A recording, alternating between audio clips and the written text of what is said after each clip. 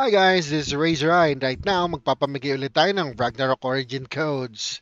So here we go.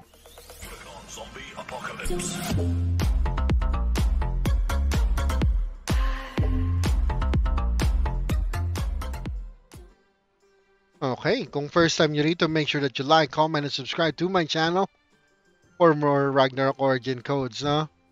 At syempre, nagpamigay na tayo ng mga Top Conqueror codes. Ito na ang part 2 nun, no? Mga malalakas na nag-Top Conqueror sa Ragnarok Origin. So, let's go to rewards. Redeem. At ito ang una, Aqua. Top Conqueror. Kung ah, interested kayo para malaman kung anong binibigay nilang items, Tari Mora Coin. No? So, lahat ng bibigay natin codes ngayon, Tari Mora Coin, Tari Mora Coin ang pamimigay, no? So, susunod natin, Dark Lord. Top Conqueror, Dark Lord, Top Conqueror, no? Ito, kilala nating lahat, Ann Cortez. Tiglalaro kayo ng Ragnarok talaga to. Ann Cortez. Anak ni Rex Cortez, no? They they are Perky Top Conqueror. They are Perky Top Conqueror.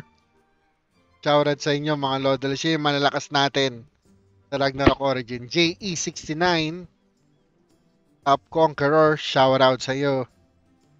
Nalakas na itong mga to. Stab Zero Top Conqueror. Lode Lods yan. No?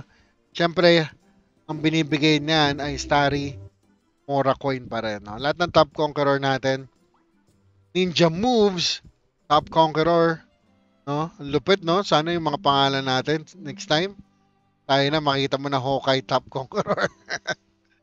Hyper Fly Top Conqueror. No?